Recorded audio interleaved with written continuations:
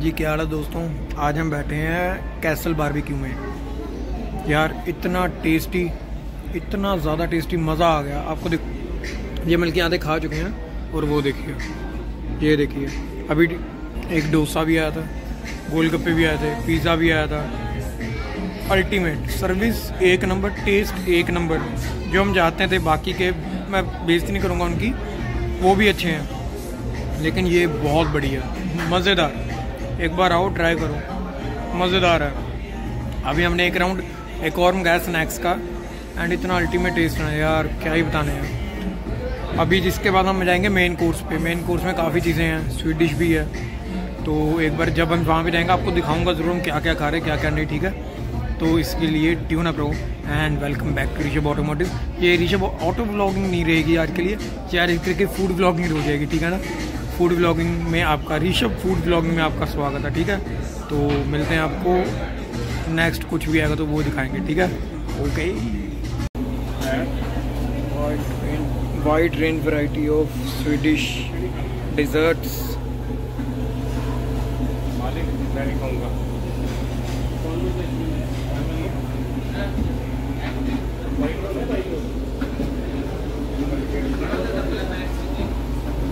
jalebi with rabri fruits and साथ में इधर तो कुछ नहीं है। यहाँ पे है अपना गुलाब जामुन एंड मूंग दाल का हलवा।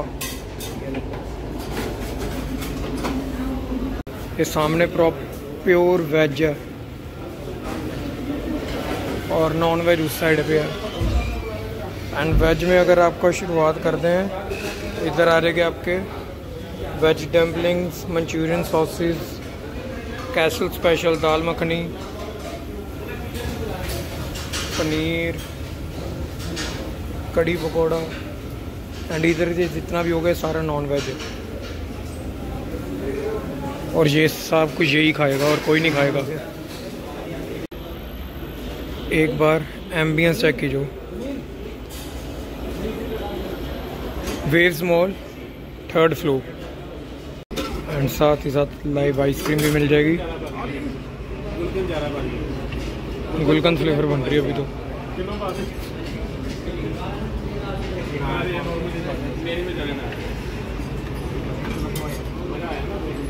एंड यहाँ से व्यू देखो।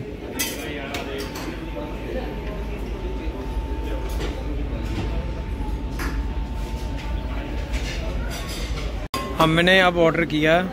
मैंने किया पान फ्लेवर आइसक्रीम और इसने किया केड़ी कितनी है? ये मैंगो फ्लेवर है मैं पान फ्लेवर हूँ।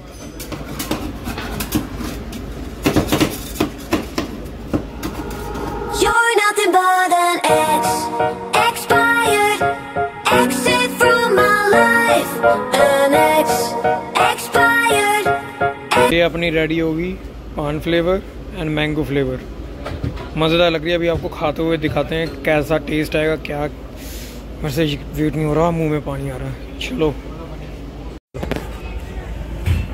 भाई, अभी आपको टेस्ट करके दिखाते हैं कि कैसा टेस्ट है तो फिर आपको बताते हैं।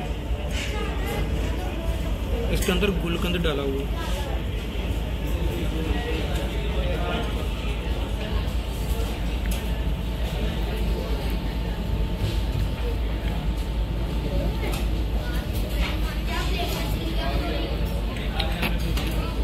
यमी बल्कि हमने बाहर भी पान फ्लेवर आइसक्रीम बहुत खाई होगी। लेकिन ये मुझे नहीं पता कौन सा फ्लेवर डाले उन्होंने। आपके सामने बना, जो भी बना।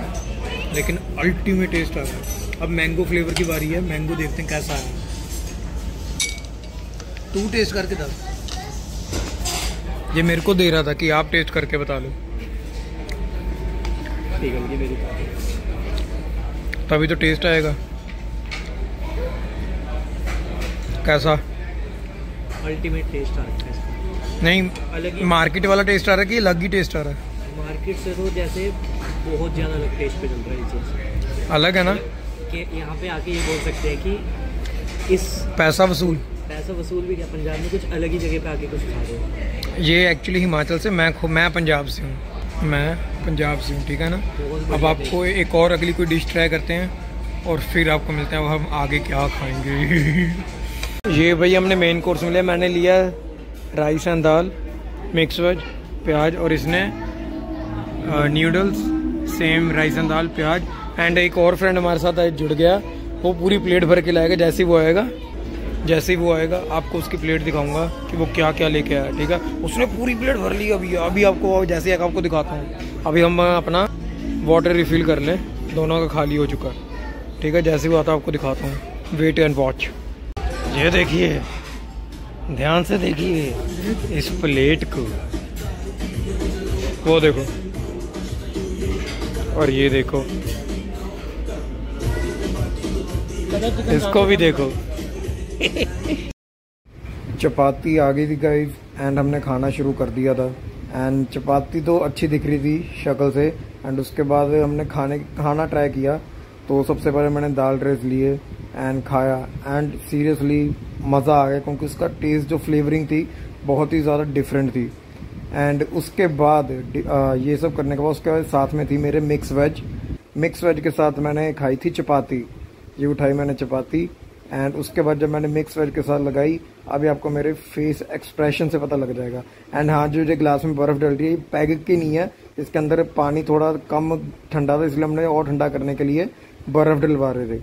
एंड मिक्स वेज खा के जो मज़ा आया, बहुत ही अलग ये आ गई आइस पैग नहीं था। एंड ये जो अभी हमने खाया मिक्स वेज एंड चपाती, सिरा मतलब कि औसम एंड ये नॉन वेज भी खा रहा था तो ये बता नहीं रहा था, लेकिन एक खा तो रहा था। और जी, यहाँ पे हमारी दोगलापंती शुरू हो गई थी कि दोगलापन किसको कहते हैं? ये था कि मैं खा हूँ, मैं करता ये खा हूँ।